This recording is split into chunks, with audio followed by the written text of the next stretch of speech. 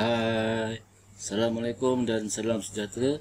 Uh, Bertemu kembali untuk tutorial Google Meet yang seterusnya.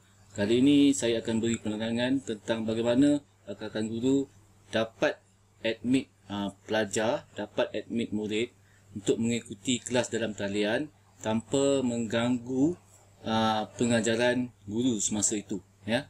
Jadi maksudnya uh, murid akan admit secara auto ya. Dan cikgu boleh mengajar dengan tenang tanpa uh, melihat siapa murid yang admit uh, daripada masa ke semasa. Okey, bagaimana caranya? Mari kita saksikan video ini.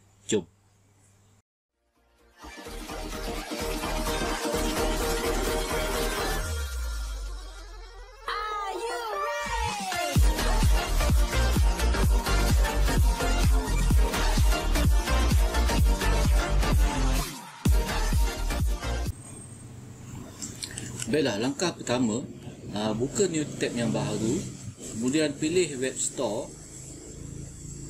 Ok, di web store uh, Extension yang diperlukan ialah Google uh, Keluarkan guru, type Google Meet Auto Admit Dan kemudian tekan enter eh.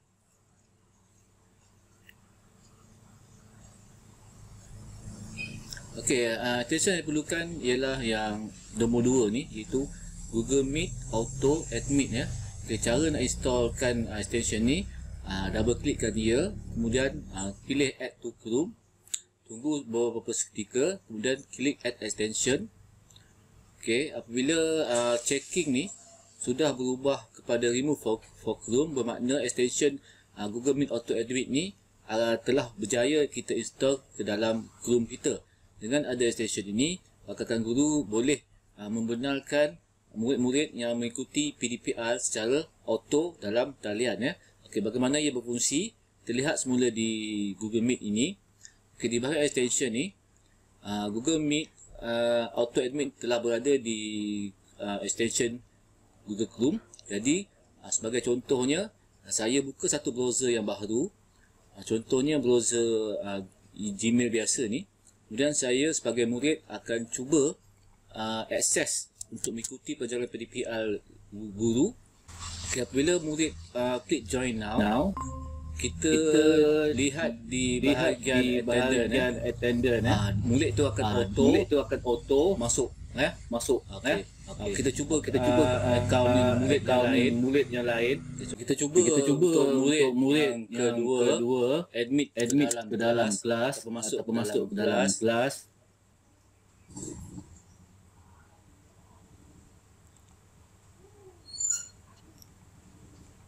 Okay, apabila, okay, apabila uh, murid, uh, murid tersebut join, join. now, now Okay, dalam okay, kelas, tersebut, tersebut dia pun, dia pun auto, auto masuk. Kelebihannya auto admit Google Chrome ni, guru tidak perlu sentiasa admit murid eh. Murid akan masuk secara auto dan sekiranya guru uh, menjadi host untuk majlis-majlis yang besar yang melibatkan ibu bapa, uh, kemungkinan uh, ramai yang akan join uh, meet tersebut.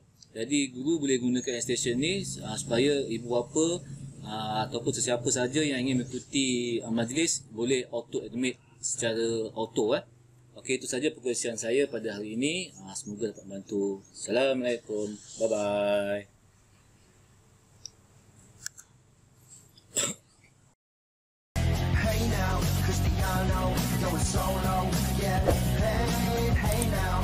So, going turn